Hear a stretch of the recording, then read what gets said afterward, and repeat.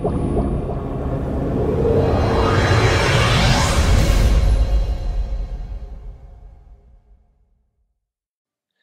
guys, it's Peter from My Bonzer channel with this week's Laughaholics.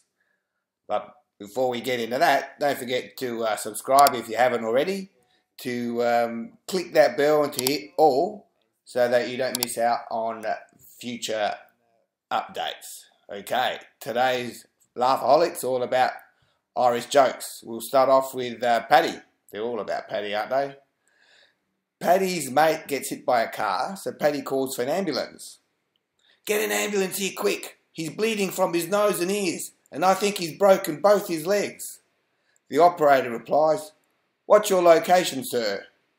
Paddy replies, Outside number 28, Eucalyptus Street. And the operator says, How do you spell that, sir? Then, for the next few minutes, all the operator hears is heavy breathing. Are you there, sir? asked the operator but all he hears is more heavy breathing.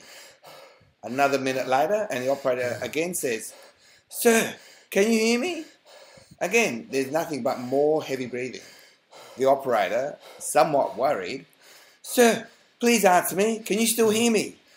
Finally, Paddy replies, Yes. Sorry about that.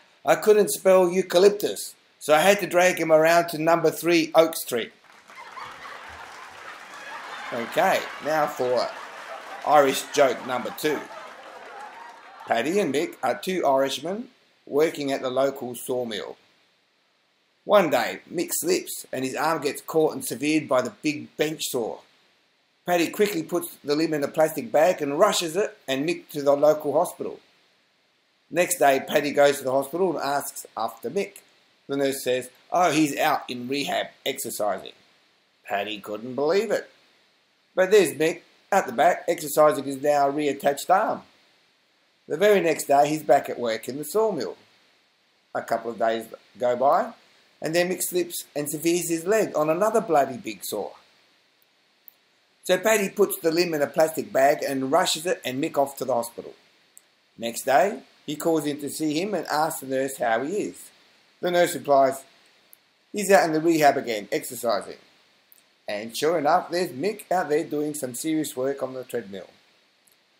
And very soon, Mick comes back to work. But as usual, within a couple of days, he has another accident and lops off his head. Really, Paddy puts the head in a plastic bag and transports it and Mick to the hospital. Next day, he goes in and asks the nurse how Mick is.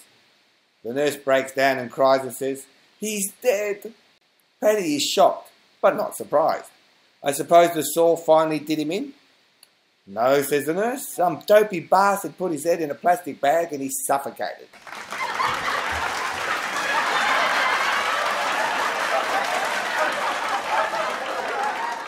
That's it, guys. I hope you liked this week's Laughaholics. Don't forget to share it with your friends so they get a bit of a giggle as well. It's Peter from my Bonzer channel signing off and hope to see you next week. Catch you later, guys.